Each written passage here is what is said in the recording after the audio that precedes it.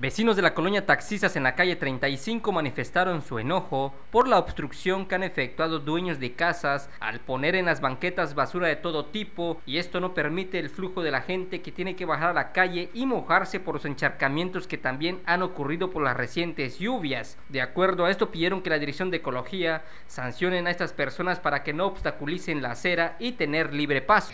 Pues han caído los niños cuando salen de la escuela. Eh por ejemplo, ya se dio cuenta, ya ni las personas que vivimos por acá podemos pasar para allá a otros lados.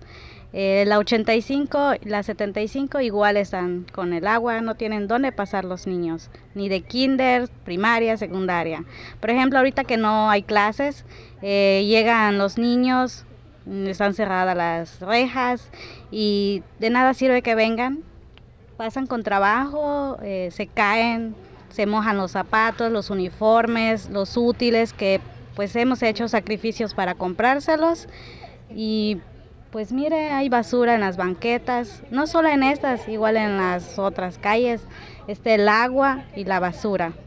Pues sí que está mal porque ahí es el día de las lluvias, está amontonado la basura de una acera, de la otra acera, sobre el sobre el escarpa y no pueden estar pasando. Un niño se al pasar se resbaló y se cayó, una muchachita, pues eso está mal porque pues al menos que lo recojan o no lo sé, que lo metan en una bolsa de basura para que al menos pues allí siempre, cada vez que hay lluvias está negado, no no se va pronto el agua, pues al menos pues los espacios peatonales pues que lo dejen limpio para que pues estén pasando y no se estén metiendo entre agua.